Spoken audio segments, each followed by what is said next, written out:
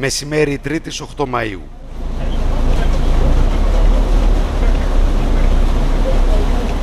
Μέσα σε λίγα λεπτά οι κεντρικοί δρόμοι της Κοζάνης γεμίζουν με νερό λόγω της ισχυρής νεροποντής που κράτησε ωστόσο ελάχιστη ώρα.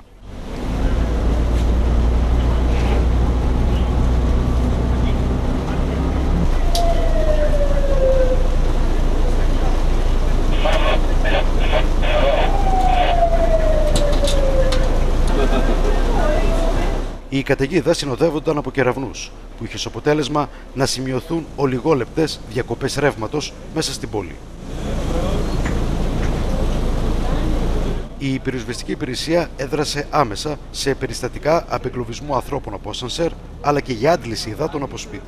Ε, μέχρι αυτή τη στιγμή που μιλάμε, η υπηρεσία μας δεν αντιμετώπισε ιδιαίτερα προβλήματα από τις καιρικές συνθήκες. Συγκεκριμένα, κληθήκαμε και έχουμε επέμβει σε μία άντληση υδάτων από υπόγεια και τρεις απεγκλωβισμούς από ανηλικιστήρες. Συγκροτήσαμε δύο συνεργεία, αποτελούμενα από δύο οχήματα και τέσσερις υπαλλήλους.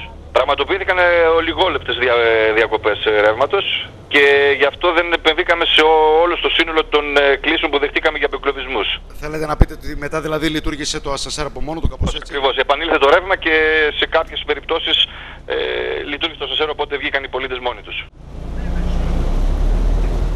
Σε αυτό το σημείο θα παρακολουθήσουμε μερικά χαρακτηριστικά πλάνα που κατέγραψε η κάμερα του Flash μέσα από το λεωφορείο του αστικού κτέλ που κινείται από την Κοζάνη προς το Δρέπανο.